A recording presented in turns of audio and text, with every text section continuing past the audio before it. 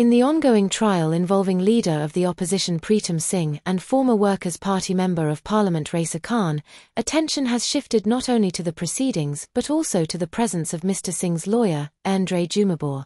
Since the trial commenced earlier this week, netizens have taken to social media, captivated by Jumabhoy's striking appearance, which many have likened to that of a cinematic action hero or a suave villain.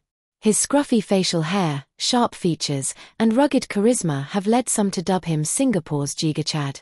Mr. Jumabhoy's distinctive look, featuring a chiseled jawline and an intense gaze, creates an impression of confidence and seriousness, perfectly embodying the role of a formidable lawyer in a high-stakes courtroom drama.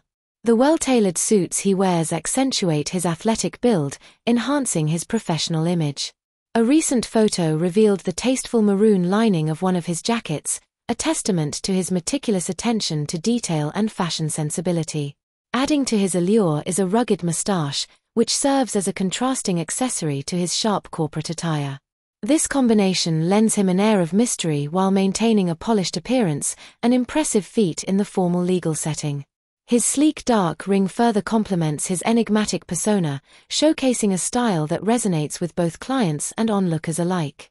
Online chatter around Andre Jumabhoy has surged, particularly on forums such as Hardware Zone, where threads questioning who is Andre Jumabhoy have amassed numerous responses.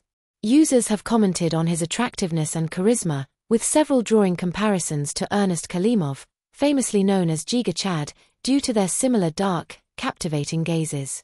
Mr. Jumabhoy is not just a pretty face, he is a seasoned lawyer with a formidable background. Previously serving as a state counsel, he has garnered expertise in several complex areas, including insider trading, bribery, and money laundering. Currently, he serves as the managing director of Andre Jumabhoy LLC, a law firm specializing in criminal litigation. His extensive knowledge and experience in these areas lend him credibility and authority during the high-profile trial. As the proceedings continue, it remains to be seen how both the trial and Mr. Jumabhoy's growing public persona will unfold. Viewers, what do you think about the fascination surrounding Mr. Jumabhoy?